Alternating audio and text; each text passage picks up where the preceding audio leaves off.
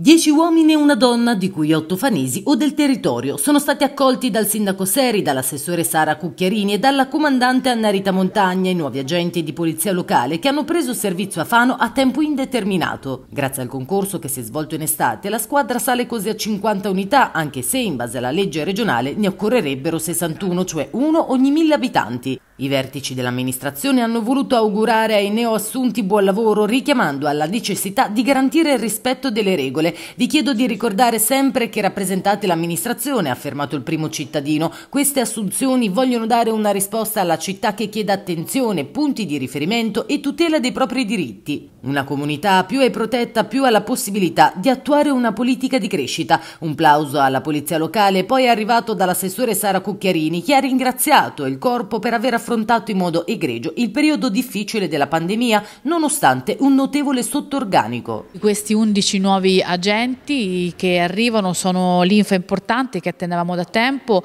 purtroppo il Covid ci ha fatto perdere un po' di tempo, un anno precisamente, altrimenti avremmo avuto già da tempo nuovi vigili, il corpo oggi si compone di circa 50 agenti e grazie a nuovi innesti riusciremo comunque nelle prossime settimane settimane e ne daremo comunicazione anche alla stampa, a eh, pensare nuovi servizi in città, nei quartieri e soprattutto sulla strada perché sappiamo che eh, il tema della sicurezza stradale è un tema molto sentito e purtroppo le nostre strade sono pericolose.